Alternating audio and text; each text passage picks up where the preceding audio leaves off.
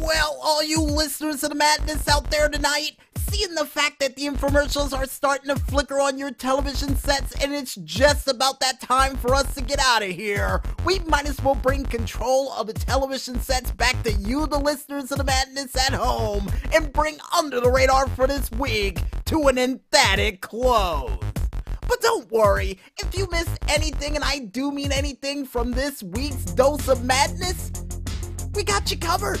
Because you can catch the show again one more time, all the time, on our SoundCloud, Facebook, or even Tumblr pages, now named the same, only known as Music Village Radio under the hashtag Under the Radar 254. And according to the maestro, that's how much money one person spent on food to celebrate this magical holiday. Yikes! And their pockets are probably empty after that one. You guys want to figure out other crazy and zany things that we still got prepared for this month of fools, like a whole bunch of food that will go missing by the end of the night, you could go ahead and check it out on our Twitter slash YouTube pages, still named the same, only known as ZOO Agent mm, Double 012.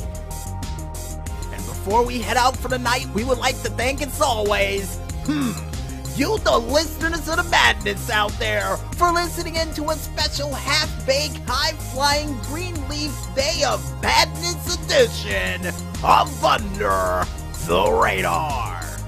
And if you guys and girls out there like what you heard, go out there and spread the word. You know what?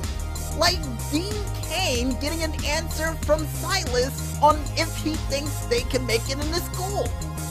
You know, PR department knows where I'm going with this and told me to watch my tone when I'm talking to Dean Carl. I thought his name was Dean Kane. I got it wrong twice. And we would also like to thank you, the independent artists out there, for delivering that musical goodness like you always do. And keep up the great work, guys. And hopefully, a couple of your songs can mellow a couple of people out during this very special holiday that may have already passed us by. And I find it funny how close it is to Earth Day, but we're not going to go into that.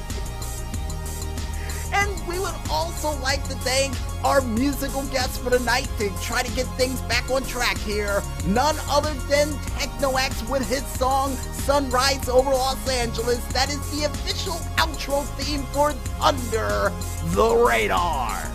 And as always, Tekno AXE, keep up the great work. And we can't wait to hear what you got coming down the tubes next. And finally, last but not least, we would like to thank you, the independent gamers out there, for coming out with all those sweet, sweet video game hits, clips, tracks, and stunts that we had a chance to mention during this week's show. And for all of you crazy stunners out there, a really big thank you for providing us with a whole bunch of back-breaking, bone-splitting stunts that we were able to mention during the Wild Wolves stunts for over four years now and keep up the great work and we can't wait to see what you got planned for stunts this next following year. And as a matter of fact, we saved your most painful stunt on a plaque that we hanged up on the wall that we're gonna mail to you eventually. And I guess with everybody thanked, you guys out there now we go out. I'm DJ Smokey on behalf of the Maestro saying, hell yeah, mother. I mean, yes, sir, Dean Carl, sir. But most importantly, when there's smoke, there's fire. And always remember, no matter what time of the day this show may air, during whatever sort of magical holiday that may or may not have passed us by that involves a little leaf that'll make your food in your fridge disappear faster than you can say, What happened to my food? To keep flying low and stay under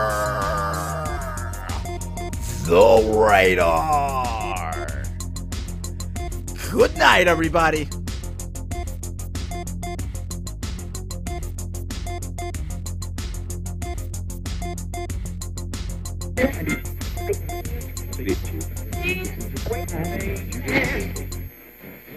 Twelve.